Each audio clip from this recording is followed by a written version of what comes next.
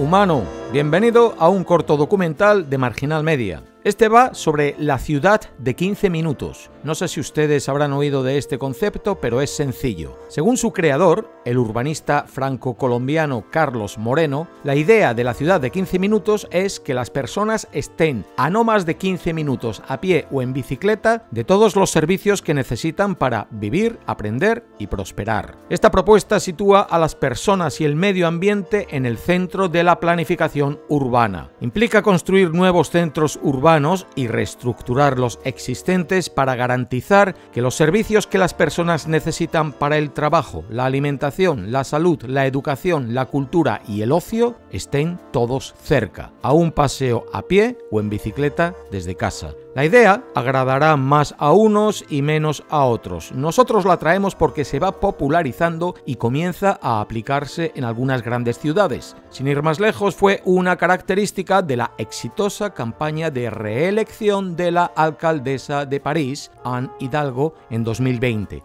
Vamos a explorarla un poco más a fondo.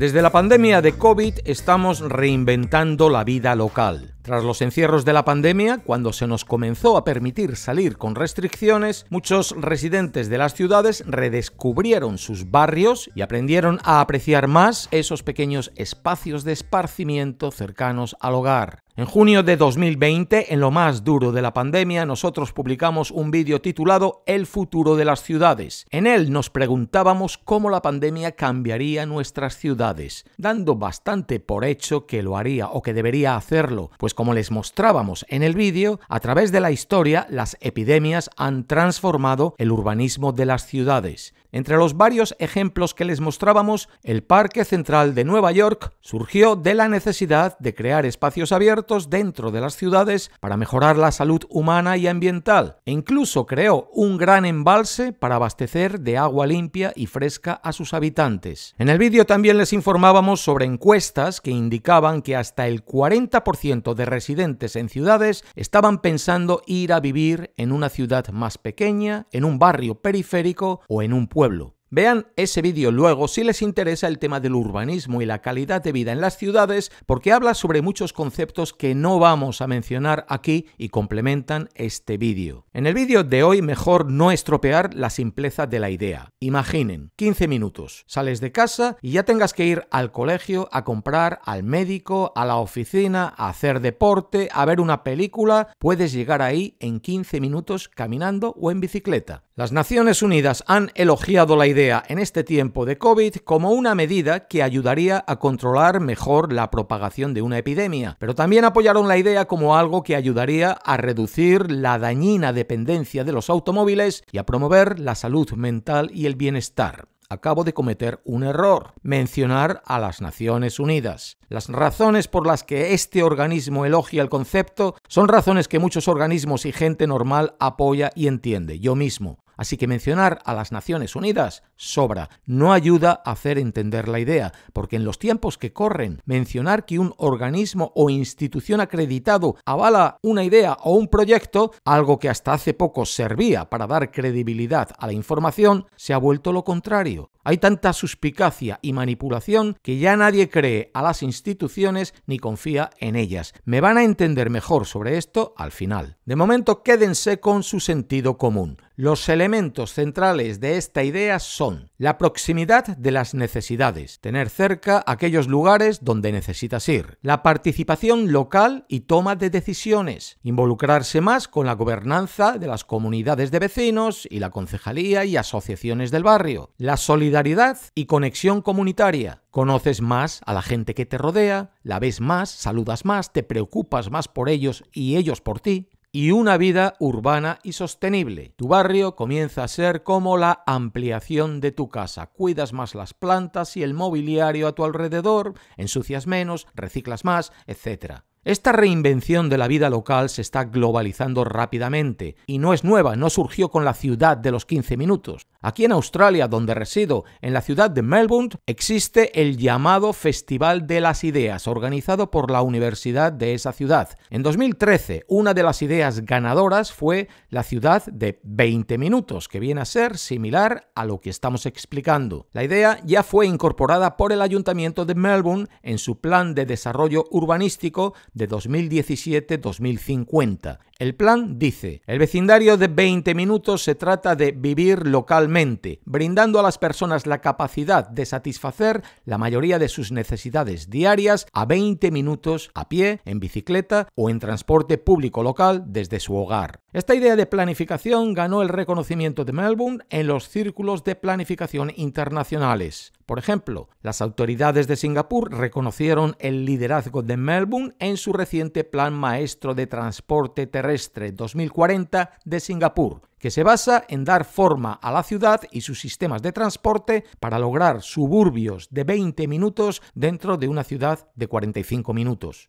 Los defensores de este tipo de iniciativas son muchos y están creciendo. Informes como este de 2021 en el Reino Unido señalan que dos terceras partes de la población apoyan un intervencionismo en esta dirección. El movimiento toma impulso especialmente tras COVID. Las lecciones aprendidas de los bloqueos de COVID han agudizado la comprensión global de las crisis de salud mental y el daño causado al bienestar de las personas por la soledad, el aislamiento social y la desconexión. Estas condiciones también dañan el bienestar de las comunidades al fomentar el estigma y promover la exclusión. Necesitamos avanzar rápidamente hacia formas de vida que promuevan la conexión, la inclusión y comunidades y entornos saludables. Podemos lograr estos objetivos a través de la participación, la toma de decisiones locales y ecologías sostenibles. Imagine ciudades con servicios de salud mental, donde el enfoque sea la inclusión, la participación, la conexión y el acceso equitativo donde los trabajadores de la salud y los servicios esenciales sean locales y estén disponibles, con obstáculos mínimos. Imagine un servicio de salud mental que se transmite a través de la comunidad de manera significativa e impactante, donde cada metro cuadrado se considera por su potencial para mejorar la salud y el bienestar. Eso es lo que busca la ciudad de 15 minutos, dar prioridad al bienestar del individuo sobre el automóvil, más árboles, menos coches, una calle con árboles tiene unos grados menos de temperatura que una calle sin ellos. Vamos a necesitar esos corredores verdes de aire fresco para vivir en las ciudades con la que se nos viene encima. Barrios para caminarlos y hacer ejercicio, para vivirlos, disfrutarlos y sentirlos nuestros, no pensados para que el coche pueda sacarnos lo antes posible de ellos. Hace más de 12 años yo ya compartía mis reflexiones con ustedes sobre este tema. Entonces me preguntaba, ¿qué pasaría si construyésemos ciudades para vivir, no para morir en ellas?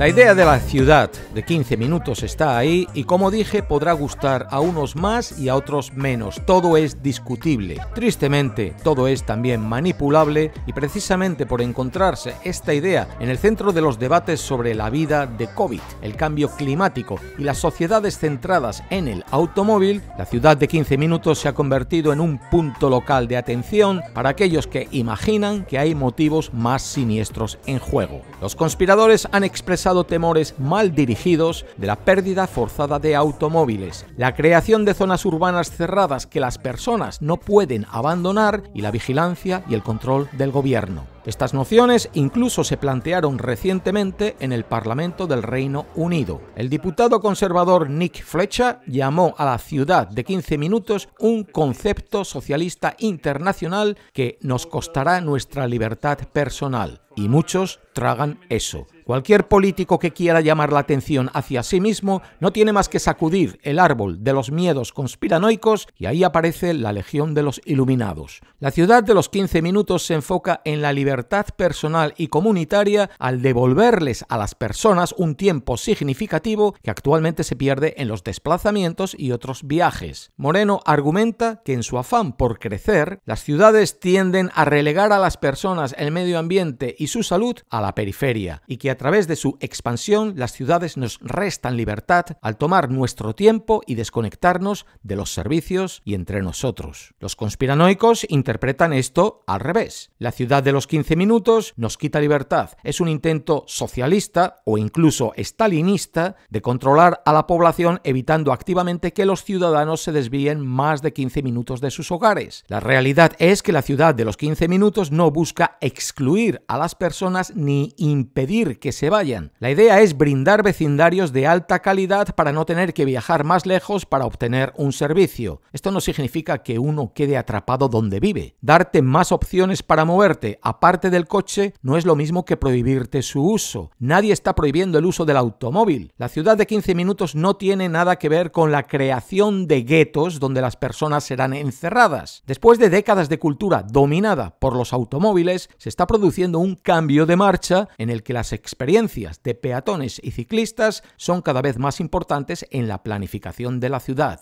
Todavía queda un largo camino por recorrer para hacer de nuestras calles y barrios lugares para todos. Los movimientos alimentados por teorías de conspiración corren el riesgo de ralentizar estas transiciones y propagar temores injustificados.